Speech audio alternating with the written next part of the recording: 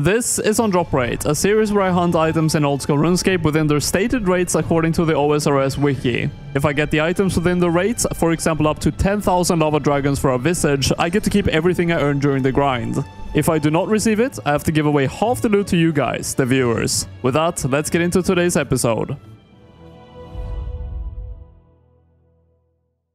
This chest right here is a chest you have probably never heard about, but it does exist in the game.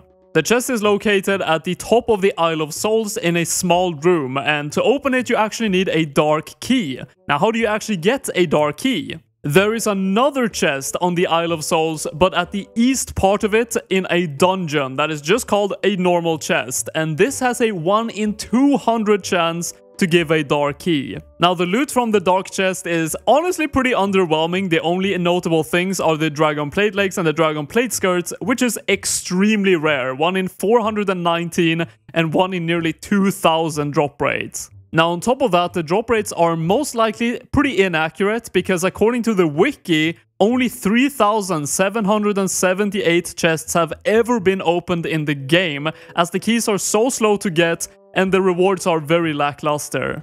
However, that's all we really have to calculate the drop rates, even though they might be inaccurate, so I'm going to be going in this video for the death runes. They are 1 in 20 drop rates, but getting 20 keys might sound very quick, but it definitely is not. So let's get actually into gaining the keys. Now, if you're crazy enough to actually do this, bring a lockpick. It actually increases the chance of opening the chest successfully. And if you fail the chest, there is a chance that you get teleported out of the entire dungeon. You have to run through the entire thing again just to get back to the chest. Now, during this grind, I will have a thieving counter on the top right here. Each successful picklock of the chest is 150 thieving experience, so it might be quite a lot of thieving experience as this is probably going to take a long time.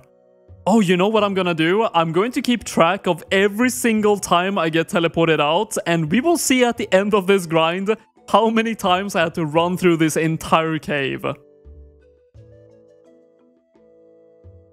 Bro, I just got here. Oh my god. Ooh, oh yeah, I forgot to mention you can actually get medium clue scrolls as well. They're 1 in 100, so twice as common as the actual dark keys. When I am on these grinds, it's nice to feel fresh, and that is why this video is sponsored by Manscaped. Manscaped sent me a package to try out their products, and I can with a 100% certainty say that these are the best products in the space that I've ever used. If you have been looking for great beard products, Manscaped has you covered with their brand new Beard Hedger Pro Kit that is absolutely revolutionary. Now, this kit includes everything you would ever need to maintain and perfect your beard with the products such as Manscaped's own beard shampoo and beard oil to keep your facial hair healthy and fresh. It also comes with the extremely versatile and professional beard hedger that allows you to trim your beard to the exact length you want without hurting your skin. You can even use it in the shower as it's waterproof. I personally don't think I look great without at least a bit of stubble left, so this is great for me personally. Now, in case this does not interest you, I know something that will. The Performance Package 4.0 that includes the classics such as the Lawnmower 4.0 made with the ceramic blade skin safe technology to trim your hair in the nether region and various products to go with it to keep you fresh. Right now, by using the code ALONE20, you can get 20% off and free shipping at manscaped.com. This is a great way to get some top quality products and support me at the same time, so make sure you use the code if this interests you. Sponsors like this allows me to do what I do, so thank you so much to Manscaped for sponsoring the video and having such amazing products.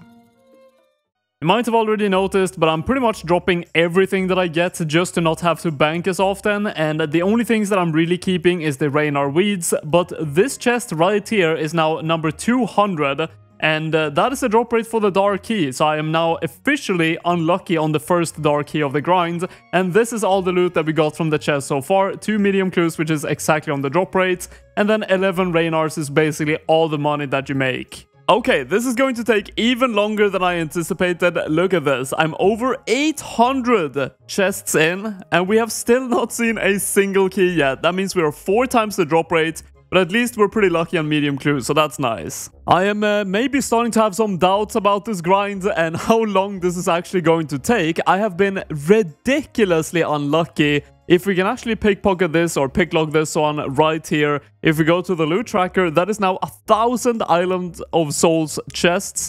And we've got zero keys. I mean, I am five times over the drop rate at this point, and we're actually dead on for the clue scrolls. We've got 10 of them. But if this luck continues, or this unluck continues, this is going to be ridiculously long of a grind. 200 medium clue scrolls on the rate that I'm going right now, which seems unlikely, but hopefully we can get a dark key soon. Oh my god! Yes! Finally! The first dark key of the grind. Oh man, I need 20 of these. This is how long it took. It took me over 1,100 picklocks and 99 teleports out. Oh, oh, already a second key. Yeah, thank you for catching up on the RNG now. That was like 30 chests or something between.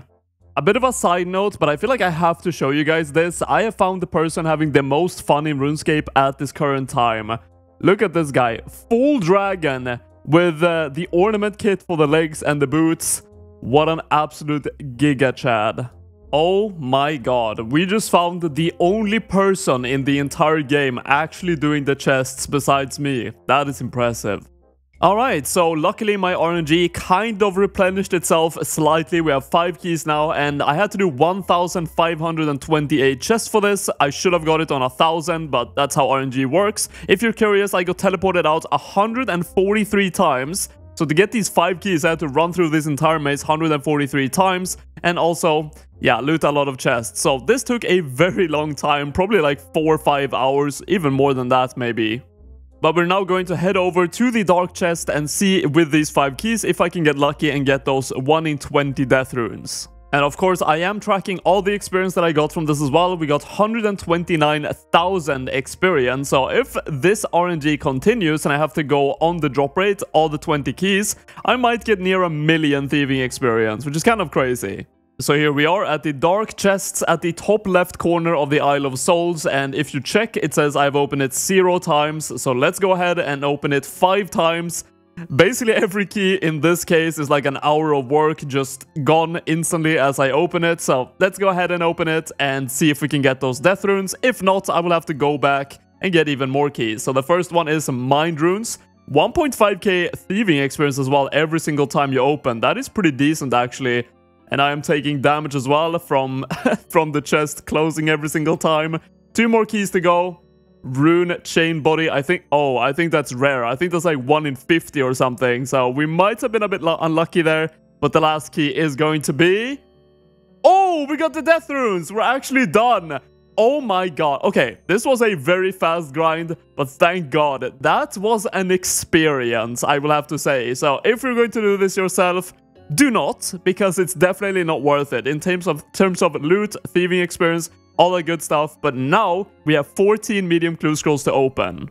And by the way, if you're curious, 5 hours of getting the keys gave me 96k in terms of the dark chest loot. So yeah, again, the loot is definitely not worth it. Now, when it comes to my medium collection log, I have 45 out of 115 items and 137 medium clues opened. I do have the ranger boots, but we still have a lot of items that I could get. So let's just go ahead and open them and see if we can get any.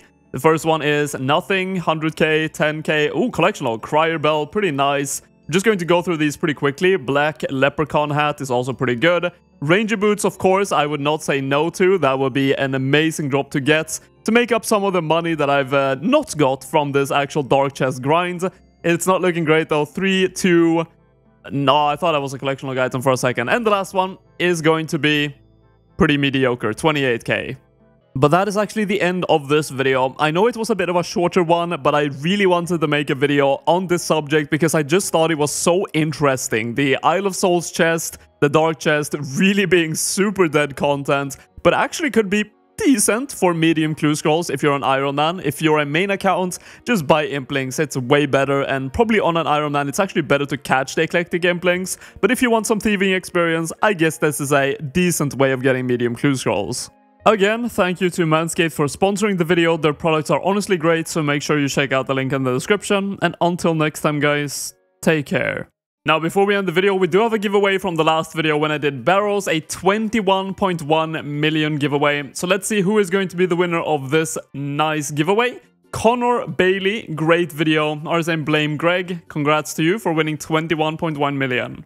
And of course, here we have the trade of the 21.1 million GP to Blame Greg. Congrats on the win.